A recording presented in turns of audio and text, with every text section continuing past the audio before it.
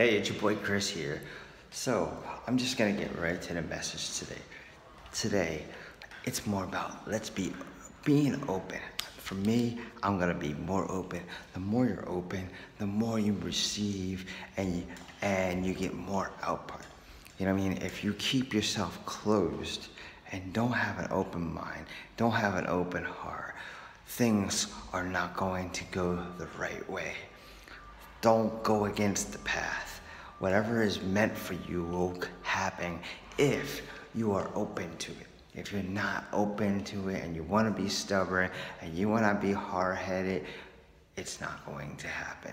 Me, 2019, I'm going to be the most open as ever because I want to receive all the gifts that God has planned for me.